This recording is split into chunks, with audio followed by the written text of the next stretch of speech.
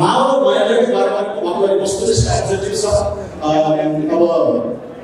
कोदारी राजाको बन्नुपर्छ बनाउनुपर्छ। हामीले भारत देशबाट आउटलेट निकाल्नै पर्छ भनेर महेन्द्रले गरे भन्यो। यहाँ राष्ट्रवादी उनका मानिसहरूले महेन्द्रलाई सेलिब्रेट गर्छन्। सायद कम्युनिस्ट पार्टीको फुन्डै यो चिनिया भ्रमणबाट हो कि भन्ने एउटा कन्जेक्चर छ। मनमोहन अधिकारी महासचिव भएर जानुहुने भइहाल्यो सन्तुराम श्रेष्ठ कमल शाह गर्नुभयो पुष्पलाल गर्नु भएन कार्यवाहक महासचिव उहाँले लिनु भएन एवं राजनीतिज्ञ राष्ट्रिय स्वतन्त्र पार्टीका वरिष्ठ उपाध्यक्ष डाक्टर सर्मी उहाँलाई माथि गर्नुभएको छ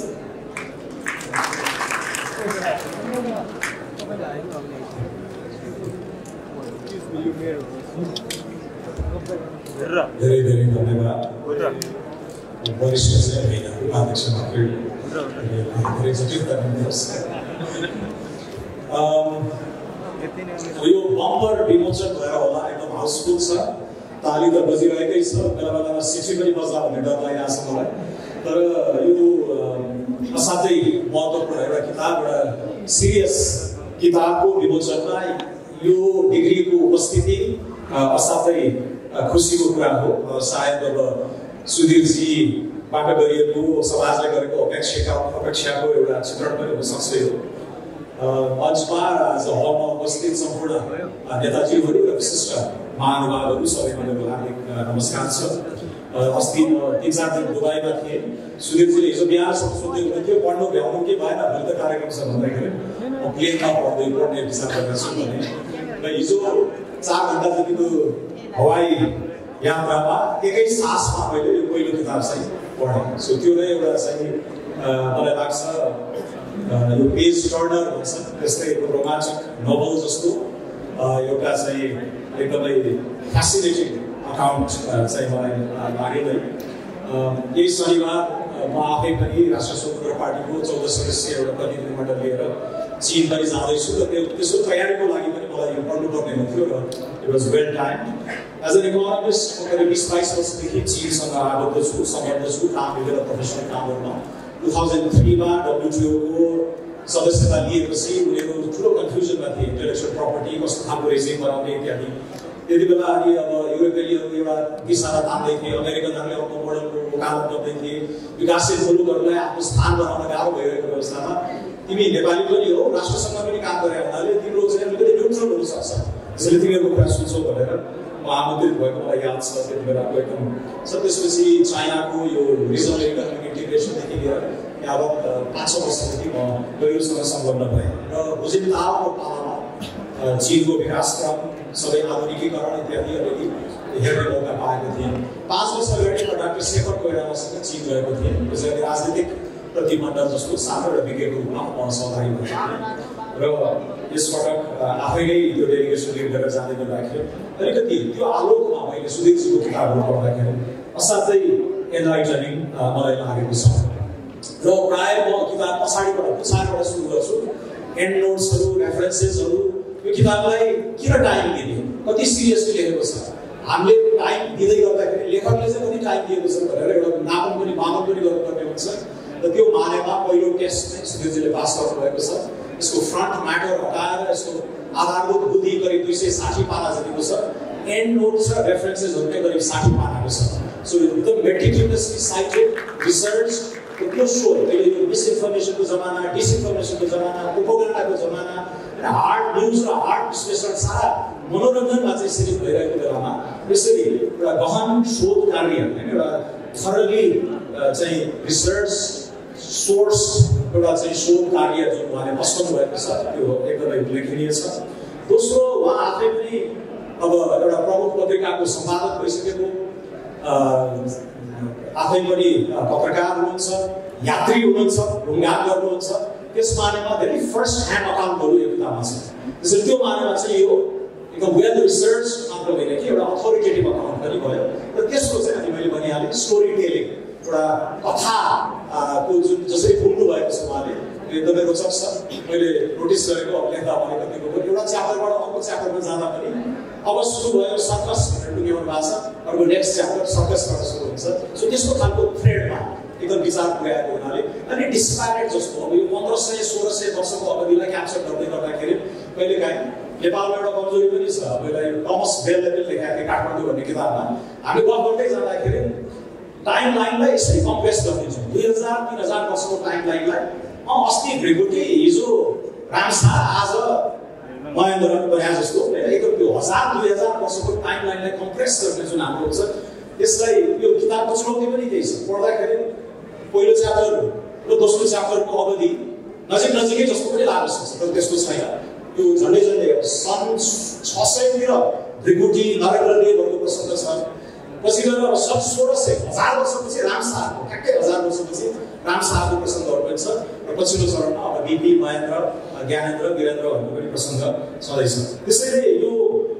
एउटा स्टोरी टेलिङको हिसाबले फर्स्ट ह्यान्ड एउटा अथोरिटेटिभ अकाउन्टको हिसाबले र जस्ट भेरी वेल रिसर्च किताबको हिसाबले पनि एकदमै उल्लेख्य छ। अब च्याप्टरहरूको बारेमा म धेरै जान्न अनि लिलाजीले पनि इङ्गित गरिसक्नु भएको छ। तर सरस्वती मेरा टेकअवेजहरू अब पहिलो यो भागोर भन्ने लासाको कुल बजार नेवार साउजीहरूको होइन सात आठ सय वर्षदेखिको छ। हजार वर्षभन्दा पुरानो एउटा नेपाली पसल एउटा रहेको दुई सयदेखि पाँच सय वर्ष पुरानोहरू चाहिँ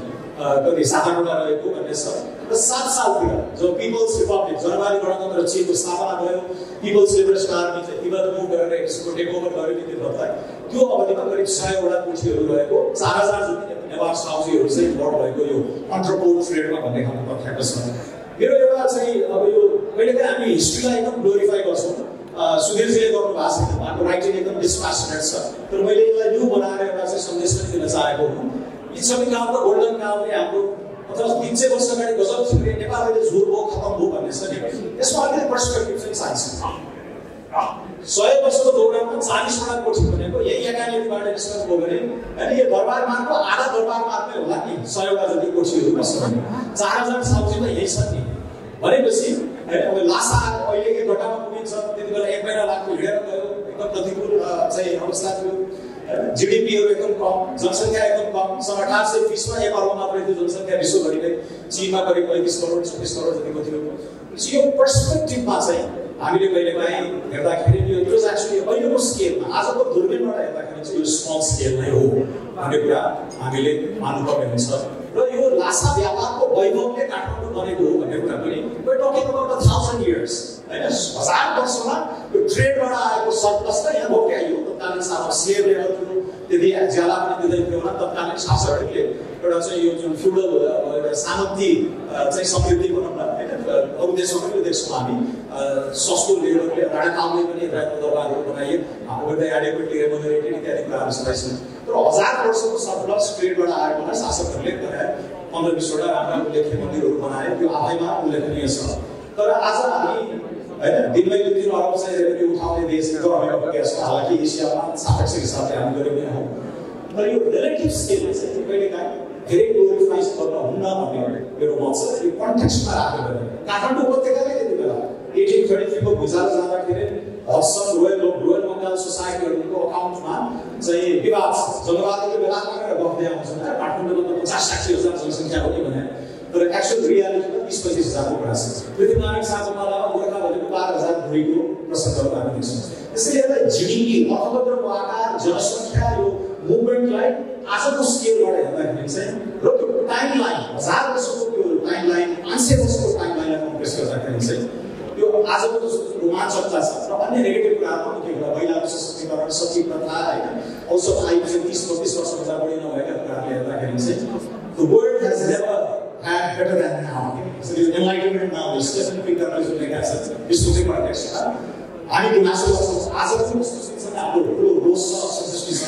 तर यो भएर एउटा काल्पनिक नोस्टाल्जिया गोल्डन एराको खोजीमा चाहिँ हामी जाँदैनौँ यो मेसेज चाहिँ मैले उहाँको पहिलो र दोस्रो च्याप्टरबाट पाएँ अब धेरै एनिमल्सहरू छ अब यो भाइब्रेन्ट कन्ट्रोलका कुराहरूदेखि लिएर होइन मुनामाको प्रसङ्ग रसुल साहब एउटाले मुनामामा लेख्नुभन्दा सय वर्ष अगाडि यही श्रेणीमा नेवारीमा आएको गीत भनेको कुरा छ? साइड गर्दै हुन्थ्यो रेफरेन्स भन्ने कुराहरू छन् पोटला दरबारमा तिनीहरूले मास गरेर जाँदै गर्दाखेरि नेपालीहरूले सम्बन्ध भएको। एउटा पात्र सायद भने हो। साक्षीजी चाहिँ त्यति बेला चाहिँ सात सालमा तारिणी मेलाले लेखेको गीत त्यहाँ कोटालामा गाइएको प्रसङ्ग छ त्यो I found it very interesting रोचक लागेको छ मलाई। केआइसीका कुराहरूदेखि लिएर होइन अनि यो मनमोहन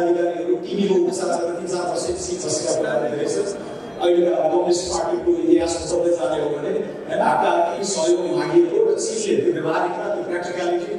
सुरुदेखि नै देखाएको भन्ने कुरा झल्कन्छ पैसामा आउँदाखेरि पैसा चाहिँ पाएको छ तर export ideologies, we don't export revolutions भन्ने चिठी आएपछि भन्ने कुराहरू त्यो सुरुदेखि नै कन्सिस्टेन्ट त्यो मान्छेहरू ट्रेन गरेर बोल्ने चाहिँ सशस्त्र द्वन्द्व इन्स्टिगेट गरेर त्यतातिर देखिन्छ जसरी चावलाईहरूले बिक्री गरेर भ्रमण जाँदाखेरि भारतबाट कति पाएका छौँ अठार करोड पाएका छौँ। त्योभन्दा त्योभन्दा धेरै त्यो हुँदैन सञ्चालन चल्छ तिनीहरूलाई अठार गर्छ हामी भारत चाहिँ दिएको भन्दा कम दिन्छ चौध करोड दस करोड दिन्छ भनेर आत्मवृद्धान्तमा पनि लेख्नु भएको छ। गएर यो कुराहरू आउँछ त्यो प्र्याक्टिकलिटी एकदमै इन्ट्रेस्टिङ छ। अर्को र मार्कोपोलोका प्रशंसाहरू एउटै समयमा एउटै काम गरेका हुन् भन्ने कुराहरू आएका छन् र पञ्चायत कानुन प्रोपोगान्डा बारेमा धेरै पात्रहरू जो जीवित हुन्छ बेलन्तो दादा के सुन्छ लगायतका सबै साइडहरू भनेर राख्नु भएको छ त्यो एकदमै इन्ट्रेस्टिङ छ। पहिलो विदेश मोडका कुराहरू आउँछ छ। यो चिनिया कम्युनिस्ट पार्टीको पहिलो डेलिगेसनमा सायद कम्युनिस्ट पार्टीको फुन्डै चिनिया भ्रमणबाट हो कि भन्ने उहाँको एउटा अध्यक्ष छ। मनमोहन अधिकारी महासचिव भएर जानुहुने भइहाल्यो सन्तुराम श्रेष्ठ कमल शाह गर्नुभयो पुष्पना गर्नुभयो कार्यवाहक महासचिव उहाँले लिनुभयो। झुकिएर त्यसपछि आउँछ र तर्फबाट त्यो दुर्घटनाहरू जुन भएपछि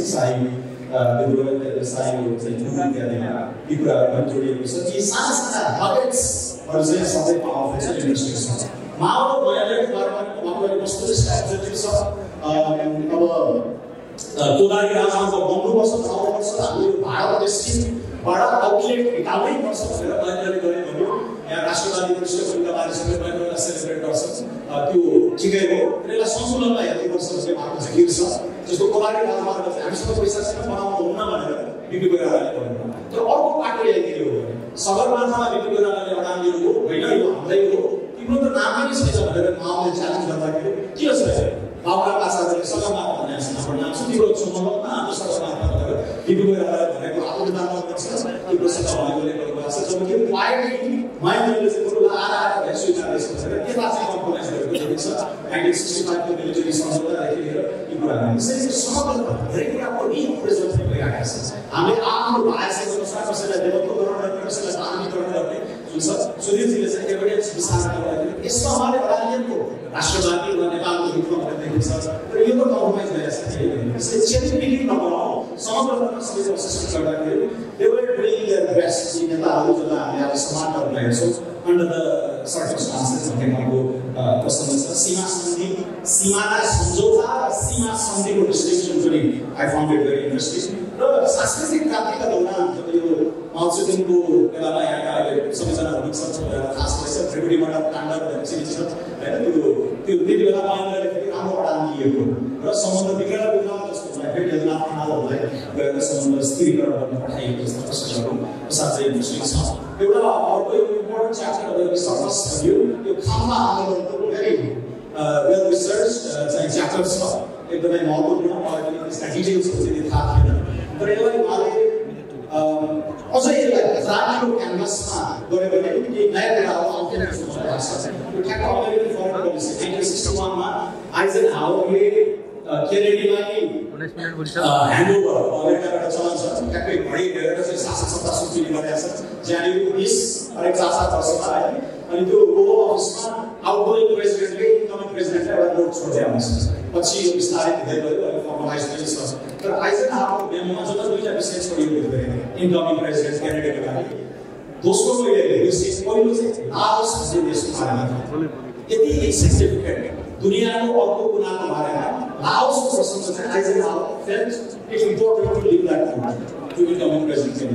त्यो दशकभरिको उत्तर अमेरिकाको आफ्नो